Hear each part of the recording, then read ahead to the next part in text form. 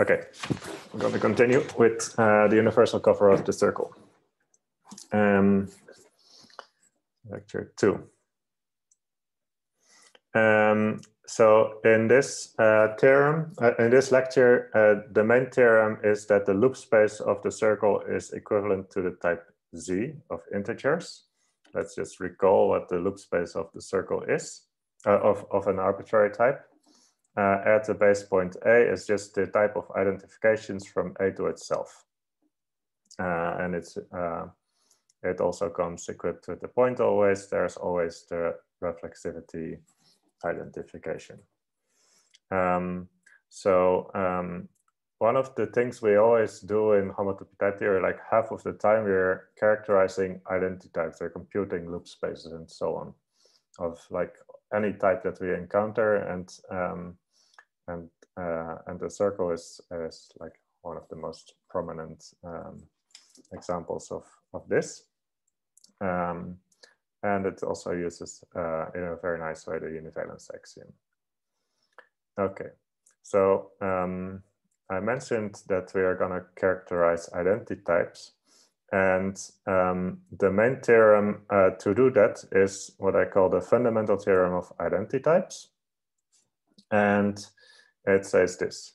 If you have a type A and a base point little a, and you want to know what is the type uh, A equals X for arbitrary X in A, then you uh, think, okay, maybe I have some idea about it. If it was pairs, then it should be a pair of identifications, or if it's the natural numbers, I should have uh, some kind of inductive procedure to um, figure out what this equality is.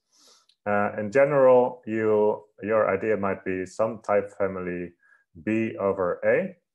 And uh, because it's supposed to be identifications, it should at least be true that there's a point B in B of A. okay, so uh, B is our educated guess of what the identity type of A is. And now uh, the theorem says the following are equivalent.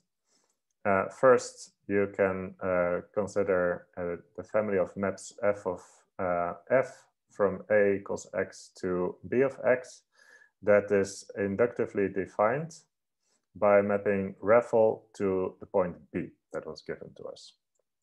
Uh, this gives a map for every little x into b of x and um, and the first claim is that this family of maps is a family of equivalences. So for each x, f uh, from a equals x to b of x is an equivalence. Should maybe have written a little index f of x, but it's like this. And um, this is equivalent to just the fact that the total space of a is uh, of b is contractible. This is a very nice theorem um, and this, if you're actually doing homotopy type theory and, uh, and computing identity types for um, as your job, then, uh, then you're using this theorem a lot, or you should be using this theorem a lot. Let me say it like that because it makes your life easier. and so um, uh, with this theorem, there's something called the encode decode method. And if, uh, if your goal is to uh, compute a loop space of a type A for some uh, type G, um, then, um, then how do you do that?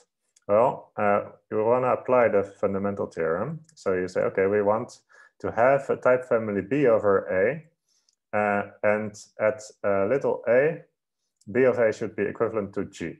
If that is given, then if I can apply the fundamental theorem, then uh, then it should be good. Uh, so this B is, uh, is again our educated guess of what the identity type of A is. And we say that it encodes the end identity type. And then the second step of the encode decode method is to show that the total space of B is contractible. And uh, if you do that by the fundamental theorem, it follows that, um, that uh, family of maps from A equals X to B of X is a family of equivalences. So for each X, you know that B of X is equivalent to A equals X. But um, at A, uh, we have an equivalence from A equals A to B of A. and we uh, were given, or we made B in such a way that B of A was equivalent to G. So then we obtain by composing these two equivalences an equivalence from the loop space of A to, to G. And, um, and this is the uh, this is known as the encode decode method. And, uh, in the way I phrased it here, there's not so much decode, there's only encode and proof that the total space is contractible. Um, and I did that on purpose because uh, because it, uh, this is the easiest way to, to apply it. If you explicitly construct an inverse from, uh, from b of x to a equals x and show that this map is a section and a retraction, then you just get yourself into a lot of trouble and you'll get headaches for days. Uh, so I recommend, instead of explicitly constructing an inverse, show that the total space is contractible. It's often much easier. And we'll, we'll see that actually um, there is not so much transport to compute if you do this.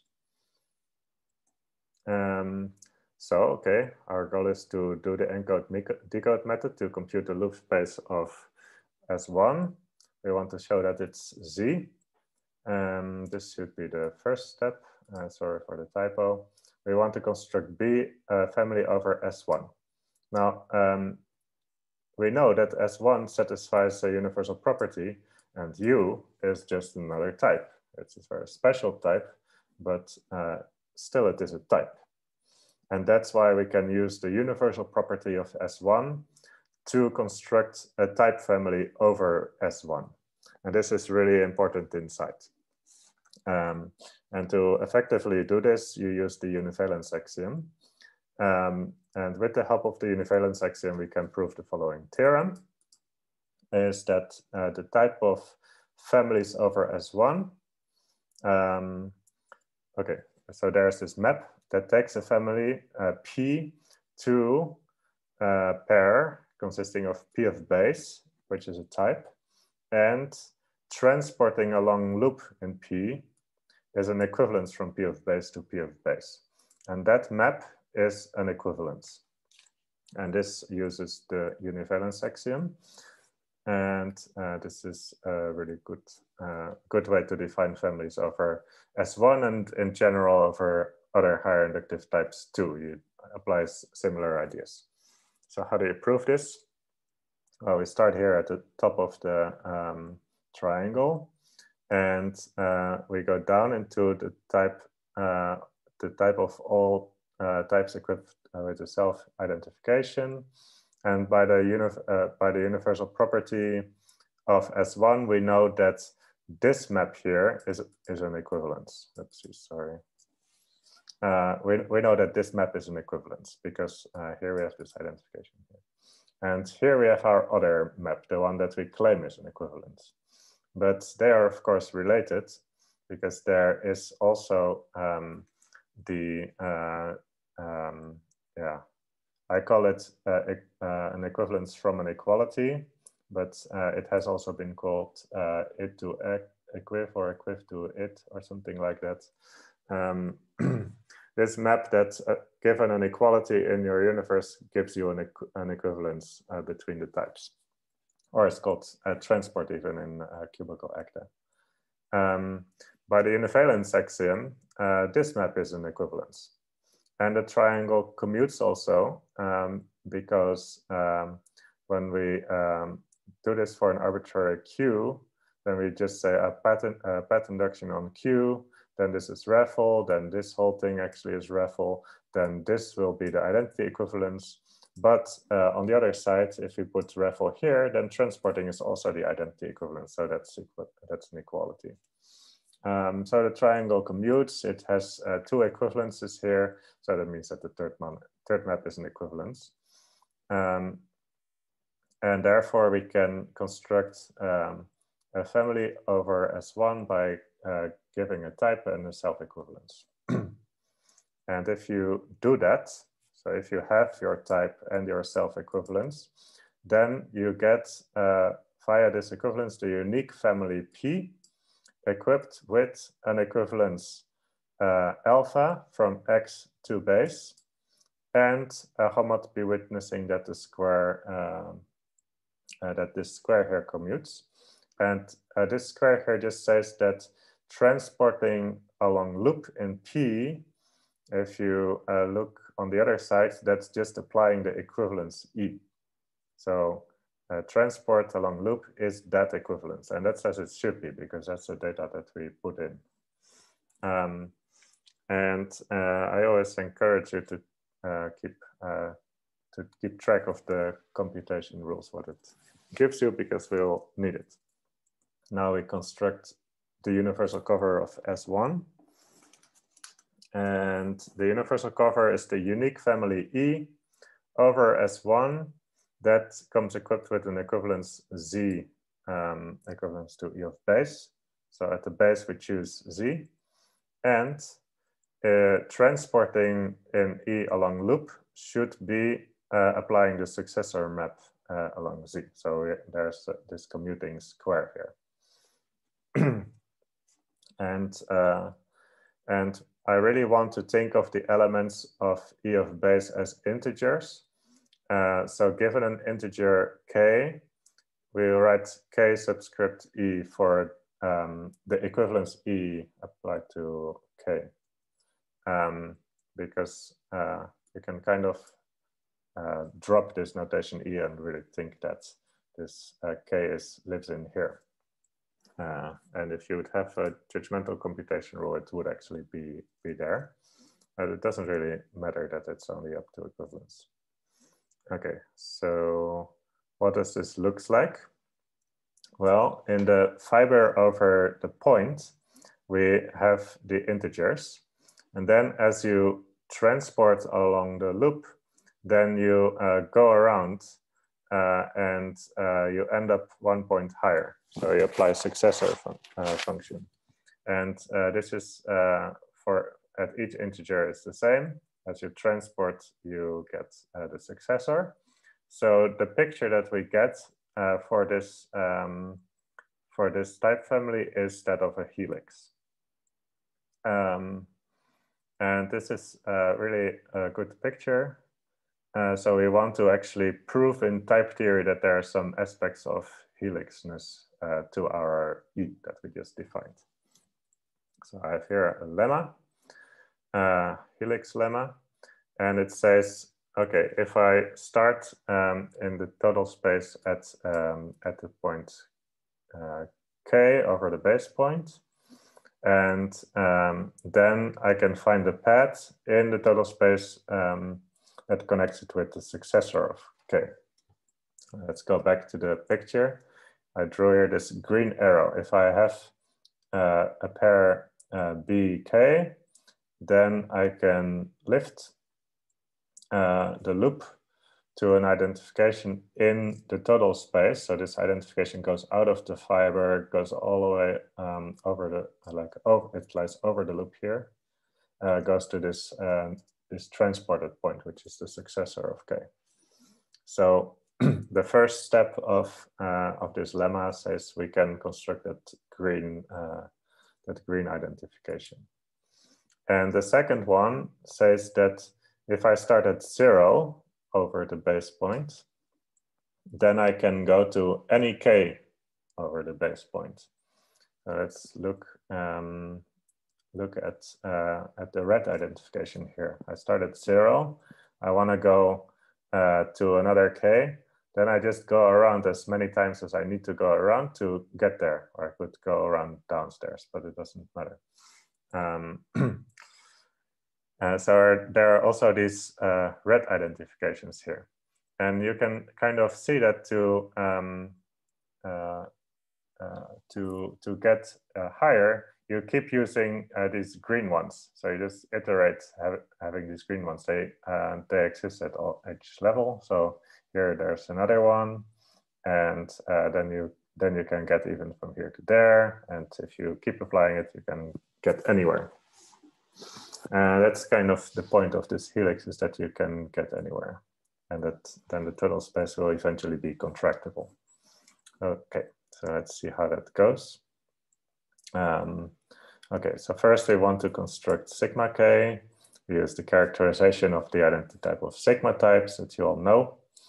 Um, okay, so we have to construct um, an identification from base to base, which is going to be loop, and uh, and an identification from this transport along P, which we chose wisely to be loop. Uh, we transport K along that loop, then it will be uh, the successor uh, seen as an element of A. Um, but when you uh, transport along loop, then we use uh, this commuting square here to say, ah, um, we know how to do that exactly and we get that identification.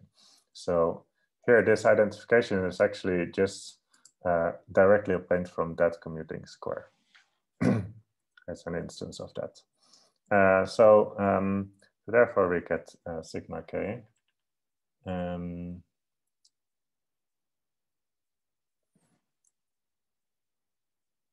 and uh, and the second claim um, uh, to show that we want to kind of uh, iterate composing um, uh, sigma k as many times as we need. Uh, we're going to use a new dependent elimination principle of the integers. And that elimination principle of z says, okay, if I have a family p over z, and there's a base point over zero, and for each k and z, I know that there's an equivalence. So actually they will be all equivalent. P of k is equivalent to six, P of successor of k. Um, then if you have that, then you get a dependent function f, um, a section of, uh, of p, and it will be in such a way that f0 is mapped to your choice of base points. And also we get these identifications.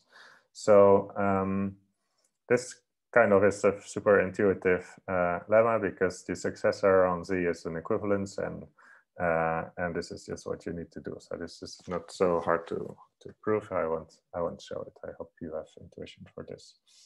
Um, yeah, it also looks like the dependent elim for the natural numbers, where you don't have an equivalence here, but just an ordinary map. And that's just due to the fact that successor on the natural numbers is an ordinary map and not an equivalence. Thank you. Uh, so now we go back to our lemma here. And how do we get this?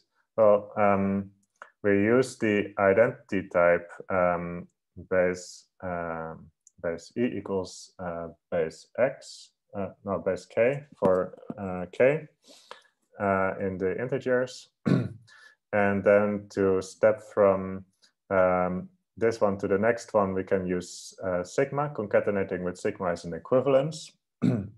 so using that equivalence and refl for zero, we can apply the dependent elim um, to, to get this uh, tau, and it will satisfy this computation rule.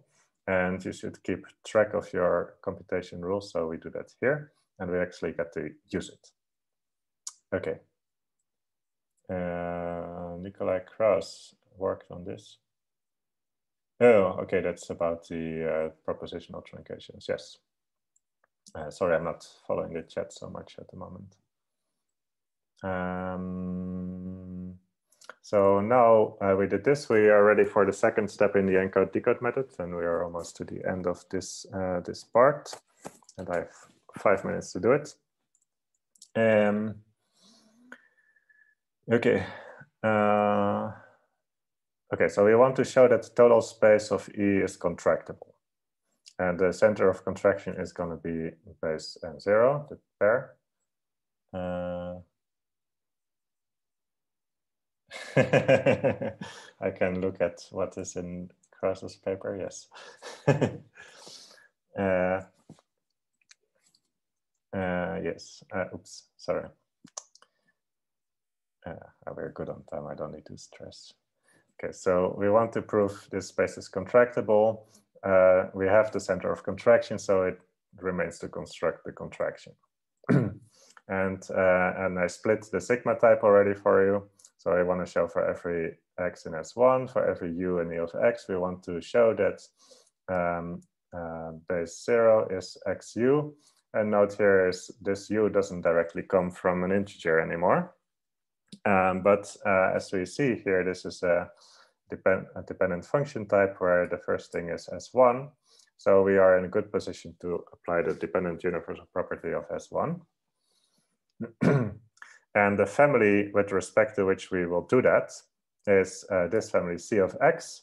It's, uh, it's that part here. So uh, it just C of X is by U in E of X and then, and then this. Okay, so we uh, want to use the induction principle, then we have two cases. Uh, we have to define P in C of base and Q. Uh, we need to know something about the transport along C. That will be like the most annoying part of this proof. But it's like the only time we have to compute the transport. uh, and we have to show that if we transport P along loop, then that gives us P back. Okay. Um, notice um, that C of base, which was pi um, of Z in E of base and then some identification, uh, E of base is equivalent to Z. So we're gonna use an equivalence here uh, that uh, replaces the domain of this pi type with Z. and, uh, and then we get back in much more favorable situation, namely uh, this U is now a K of E uh, k is seen as an element of yield base. And if we compute this transport, so there's there's some like trivial equivalence there. That's just uh, just functoriality of pi basically, and we can show that this square here commutes. So here, if I start with a family of identifications p, and I have another uh, k in z, then I have an identification um, uh, pk plus one, which goes to base, but now the successor of k. And I can use this as sigma from my helix, or the first path that we constructed, to get back to key of k of e. so this action, you can show that this uh, square commutes uh, by just some general nonsense. Uh, but that computes the transport for us because now it fits into this commuting square and this transport morally it is just that function. Um, so now um, if we start with uh, P here, then we use alpha to get it here. We wanted, so we use, instead of uh, a P in C of base, we use a P in, in this type here and alpha to get it back to, uh, to this step here. So we will have alpha p's here. I want to show that the transport of loop uh, along loop of alpha p is alpha p. Um, that's what is written here. But now because this square commutes and these are equivalences, that's equivalent to uh, just showing that for every k, p of k is equivalent to, and there's a typo here, uh, this shouldn't be an inverse or it should have been on the other side like it was here. But uh, uh, this is just an ordinary sigma k. Um, so we should uh, prove this. But this we know how to do because this was the second part of our helix lemma. Um, if you remember, it was this uh, tau here. It's exactly of that type. For every k, you have this identification and computation rule. um, so here it says that, okay, you have to exactly uh, uh, do that, and uh, therefore the proof is finished. Um, this is the proof of the theorem. And the loop space of S1 is base. And uh, as a corollary, we now know that because E was a family of sets, and they are not a family of propositions, because Z is not a proposition, follows that circle is a one type and it's not a set.